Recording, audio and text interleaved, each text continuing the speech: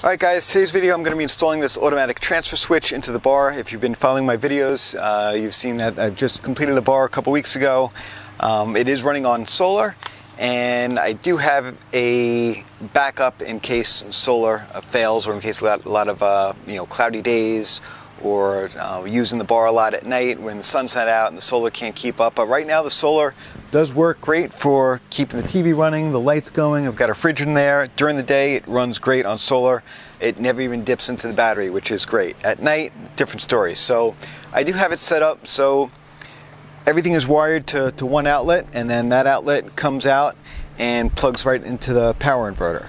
I also have an extension cord running in there from the house so that if I do want to go to shore power, you know, regular house power, I just unplug it from the inverter and then I plug it into the extension cord and then we're on house power. But it gets a little confusing with the kids and the wife. They come out and sometimes, hey, it's not working. I don't know. If, and like, oh, well, you're plugged into the house power or you're not plugged into solar power or whatever. So I want to make it easier. You can set the priority on this so that I'm going to have solar power as the main so solar, it'll always run on solar, but if I want to switch to house power, all I have to do is shut the inverter off and it'll instantly switch right over to the, the house power. So this plug right here is going to plug right into the inverter. This one connects to the AC source, so this one will connect to house power with that extension cord. I'm going to put a, a male plug on here just like this, so that'll go into the extension cord, and this one will go right to the outlet, which will energize the, the rest of the, of the bar.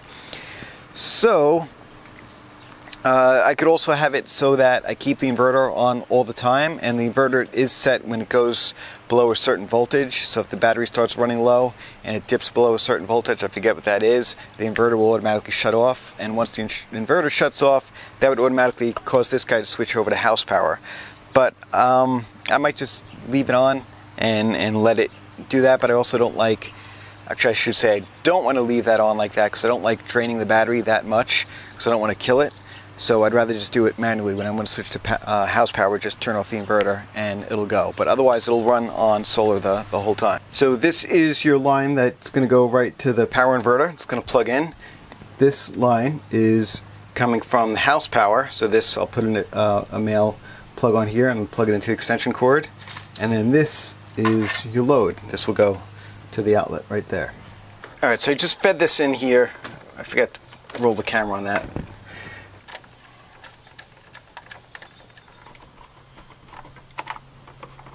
So technically this should work if I plug this into solar right now, but I'm not going to. I'm going to wire up this guy. So I'm taking this male plug off here. I'm going to wire it to this guy, and this guy will go to my extension cord. Tighten these guys up.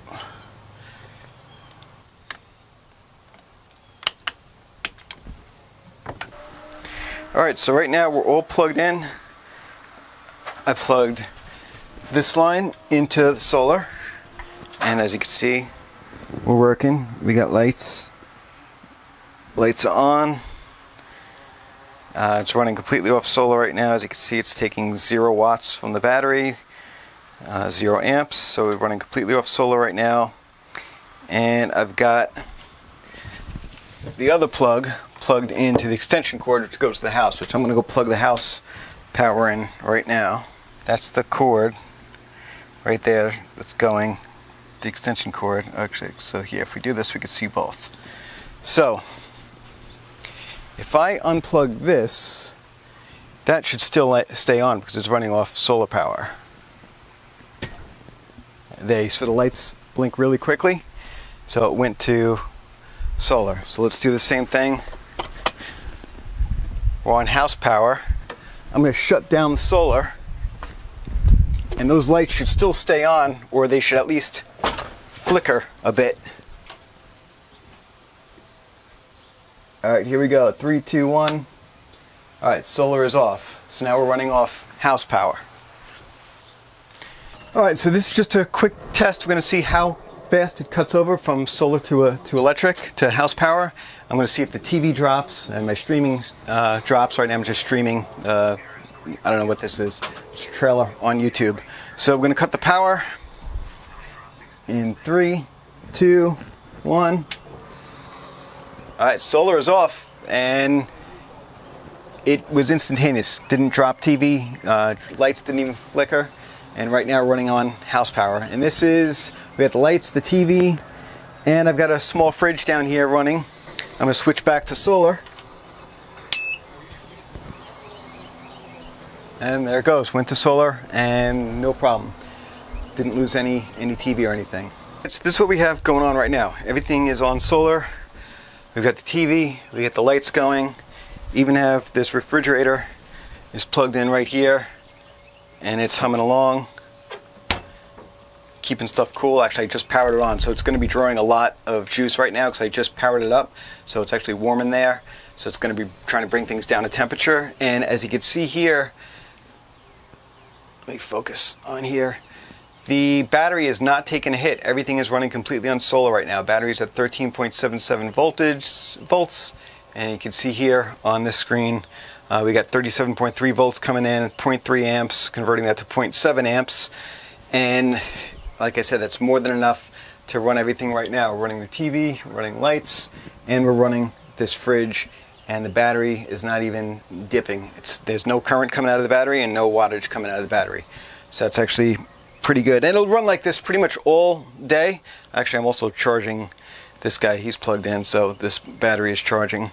So with those panels are, I've got a 100 watt panel and an 85 watt panel that I bought at different times But there and they sit in the sun pretty much all day long so from morning to almost sundown those things are getting a, lot of sun they're very dusty they got to be cleaned all right guys so that about wraps it up for the install of the this is the Prowatt 15 amp transfer switch. It's a row transfer switch, so it does it automatically. You don't have to flip any switches for it to, to work.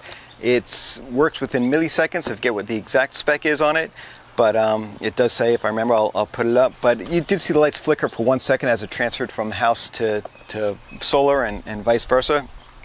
But I do have mine set as solar as the priority. So as long as both things are plugged in, it'll just run off solar until I shut that transfer switch off. Um, then it'll automatically go over to house power. So that's about it. I'll put the link in the description. Thanks for checking out the video. If you want to see more videos of the, the bar build, parts 1 through 10, or here on YouTube, feel free to check it out or like and subscribe. If you have any comments or questions, make them below and I'll be sure to answer as, as soon as I can. All right, thanks for tuning in. Later.